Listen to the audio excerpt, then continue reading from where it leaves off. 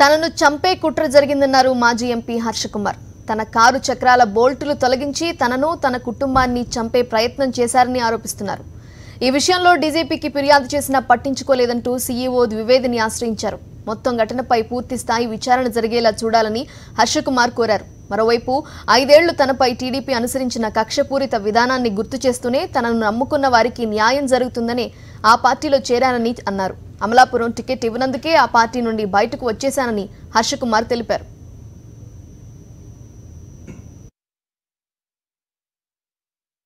కూడా నేను ఏ పార్టీలో లేకుండా ప్రజల సమస్యల పట్ల ముఖ్యంగా పేదవారి పట్ల నేను ఒక పోరాటం చేయడం జరిగింది ఐదు సంవత్సరాలు.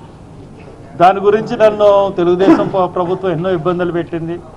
సుమారు నలభై రెండు సార్లు హౌస్ అరెస్ట్ చేసింది. పదిహేడు రోజులు నేను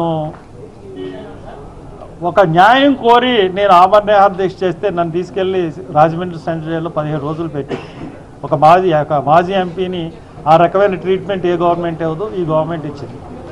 అయినా కానీ ఎలక్షన్స్లో ఏ పార్టీ నన్ను చూస్ చేసుకున్నప్పుడు తెలుగుదేశం దగ్గర నుంచి ఇన్విటేషన్ వచ్చినప్పుడు సామాజిక న్యాయం అంటే నేను కొంత